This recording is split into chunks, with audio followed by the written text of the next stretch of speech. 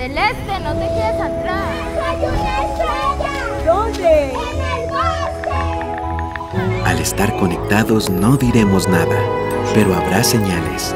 Conectividad y tecnología para cambiar la vida. En el Ministerio TIC estamos ejecutando Colombia, potencia de la vida.